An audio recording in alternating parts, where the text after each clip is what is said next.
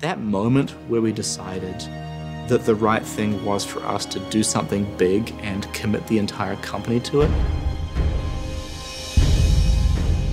it's a big deal. The stories tell of a golden age long ago when our civilization spanned the system. It was a bright and hopeful time, but it didn't last. Something hit us, knocked us down and tried to stamp us out. No one knows exactly what, but we do know this. Very few of us survived. And those who did owe their lives to the traveler. The fantasy you have when you're creating an experience is that someone else is going to enjoy it. One reason that the game is so intriguing is that it's reaching players in ways that we haven't before. We're really going to make a conscious effort to build an experience which is going to be meaningful for people. Like, how do you keep a player going for 50 or 100 hours over some number of months? And to not just want to play the game, but to want to play it with their friends. Legends say the Traveler sacrificed itself to save us. The mysterious sphere still hangs where it made its last stand, low above the earth, keeping silent watch. The years that followed the collapse of the Golden Age were hard. But slowly, we joined together to build a city beneath the Traveler. And now we've begun to venture back into the wild, only to find that we're not alone. Strange and deadly creatures have occupied our old world.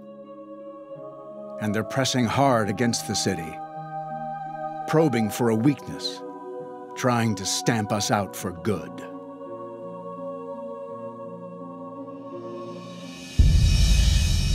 The limitations are our imagination, our ability to conceive these ideas, and that's a pretty special place to be in.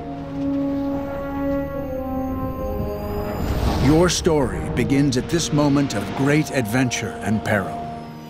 You are a guardian of the city, a soldier able to wield some of the Traveler's incredible power. If you can find a way to save the city, to reclaim all that we have lost, you will become legend. If you fail, the last light of civilization will go out. We needed something that challenges and inspires all of us. Something that I think has enough ideas in it that'll last us for the next 10 years. We are blazing a ton of new trails.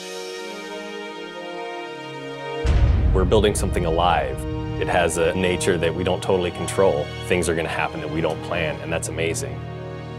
The best thing about Bungie is, even though you have these crazy ideas, you know that they're going to get funneled into a game that's fun. We're creating something completely new, and it's a scary place, but if it's not scary, then it's not going to be good.